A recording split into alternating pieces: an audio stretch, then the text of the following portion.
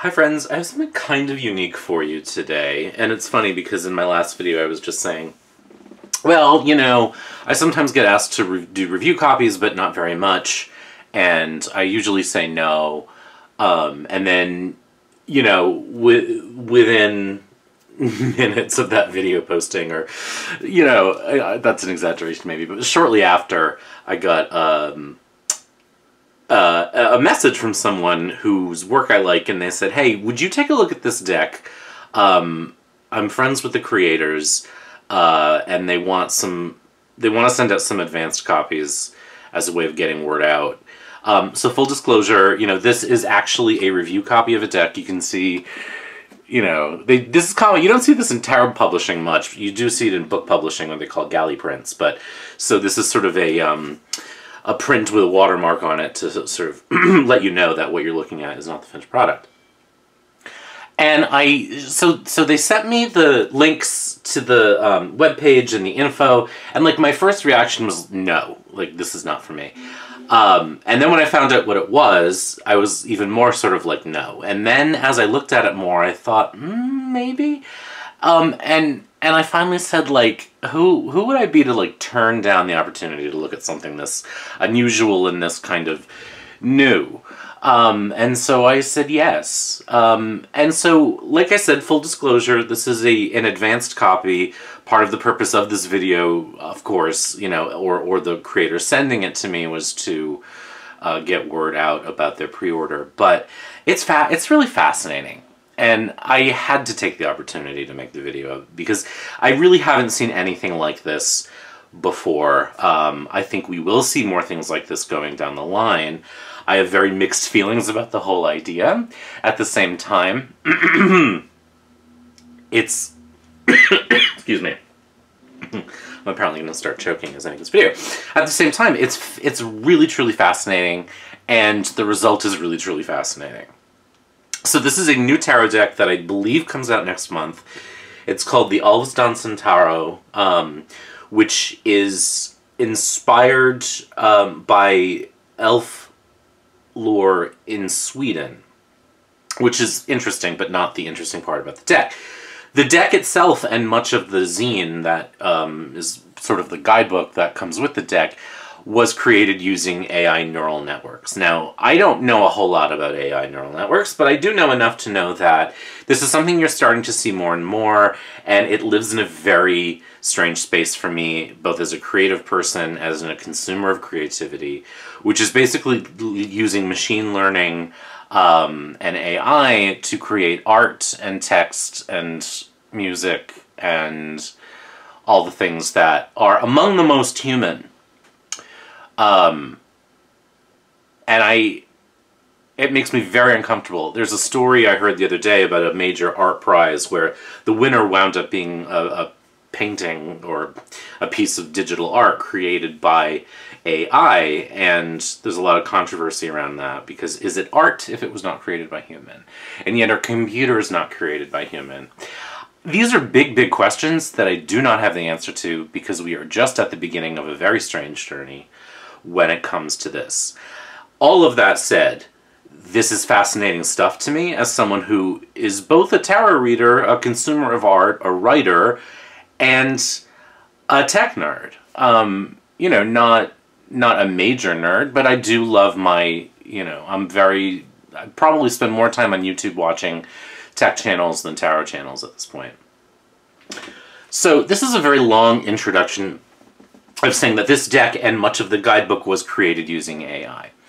Um, it's very strange, but I find it very strange in an interesting, cool way that, again, unsettles me um, in multiple ways. And, you know, as someone who, you know, I'm always trying to, as much as possible, challenge my preconceptions, challenge my biases.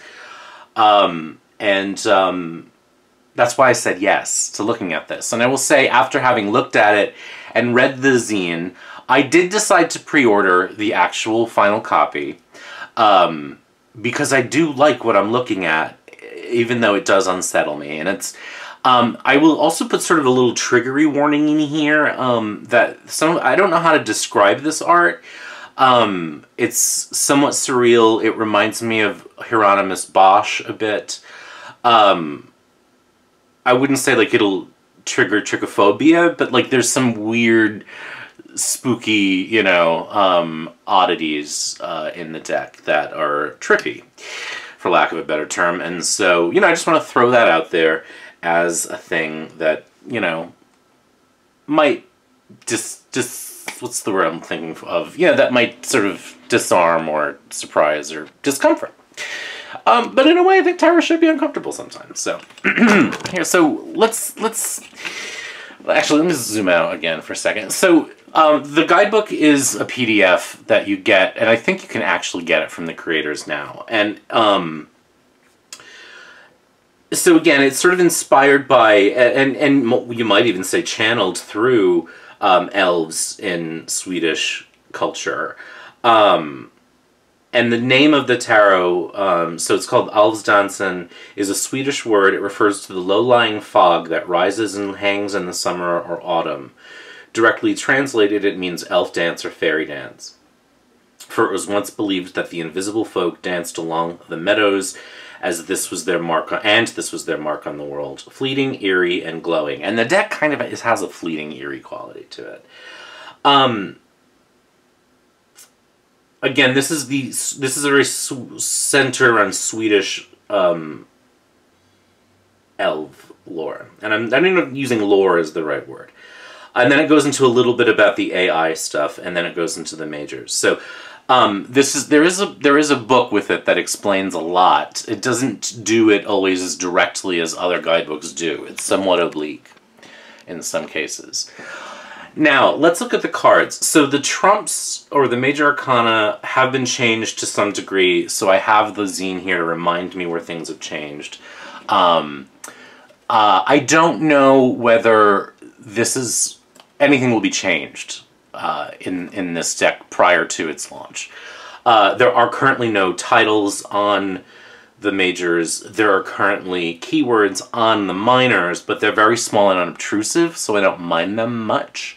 Um, and we'll see that when we when we get there. The ordering of some of the cards has changed. Some of them are a little more inspired by Thothi um, titles. I don't know that it's a it's going to be a deal breaker for most folks. Um, for example, the Emperor is actually 17 and the Star is 4. Um, a lot of them you can sort of recognize without the title. I'm tempted to to either I, I do wish the titles were on them, to be honest, but I think in the guidebook it suggests, or in the zine, it suggests sort of there's a reason that it's not there, which is that the the feeling or the image or the, the, the spirit of the card sort of means more than the name of it. That's kind of not how I read, but that's the sense that I get. And I can see myself, were I using this down the line, maybe even writing the names on the cards. So here's the Fool. Um, it comes with some text that was composed, I guess you could say, by an AI novel writer. Um, again, I'm a writer, uh, so it makes my teeth hurt, literally, to think about that as an idea. But again, interesting. And what I will say artistically is that this is a card. This is this is a deck that I actually find really spookily interesting.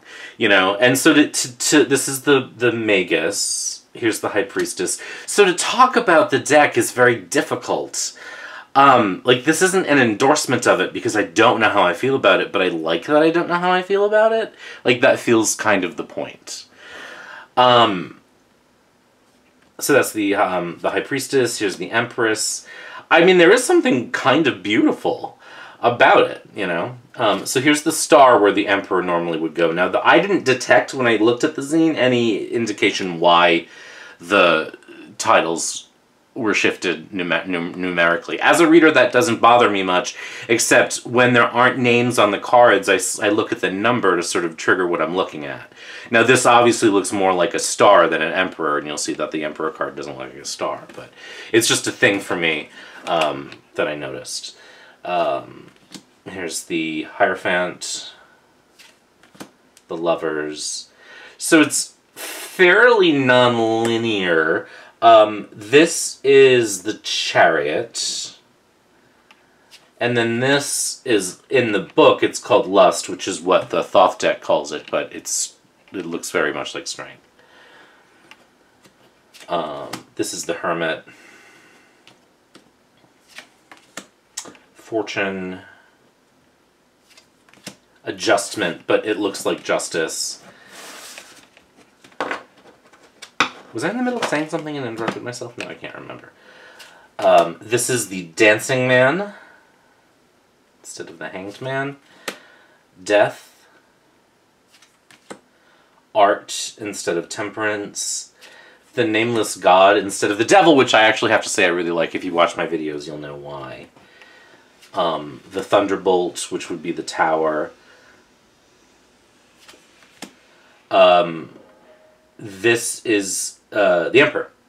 So again, you can see that this looks like the Emperor. You know what I mean? There's an Emperor quality to it, but it's in the position that normally goes to the star, and it doesn't really say why um, that I can find. This is the Moon, the Sun,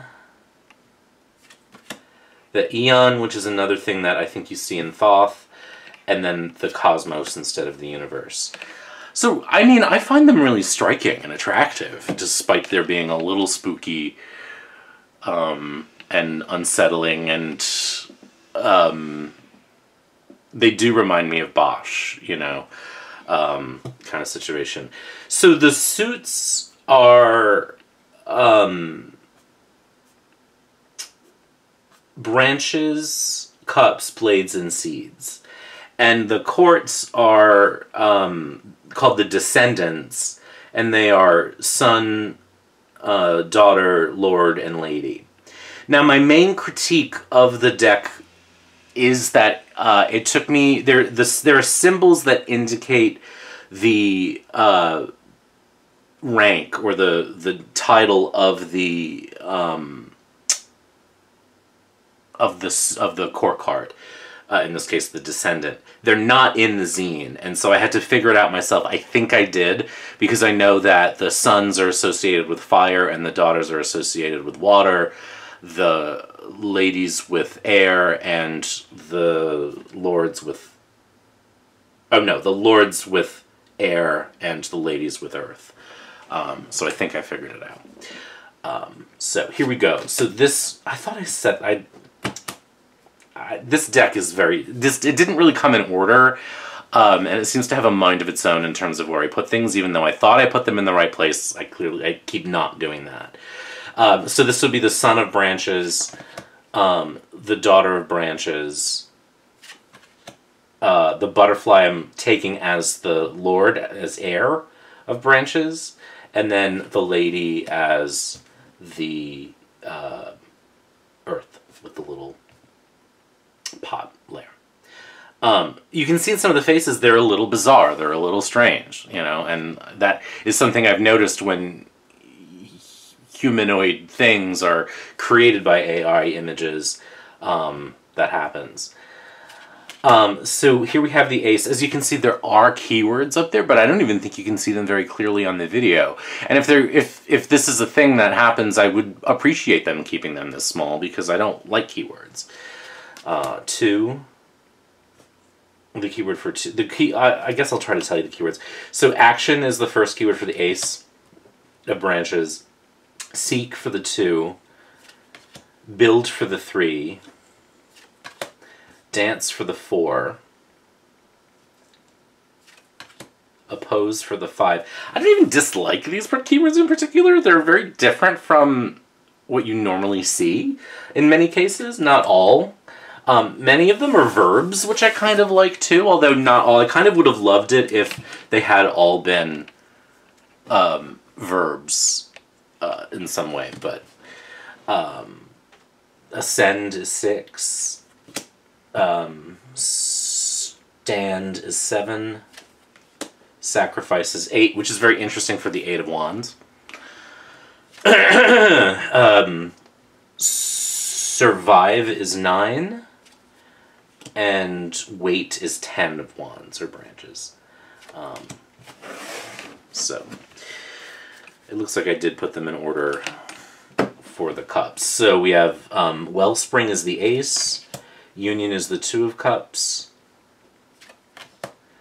Ritual is the three. I mean, I really do like the cards, I have to say. Like, overall, I know they're weird in their way, but like to me, it's kind of a good thing. And they are just unsettling enough to kind of keep me feeling like, uh, uh this is consumed as the four, uh, doubt as the five, um, initiation as the six. Is that what that says?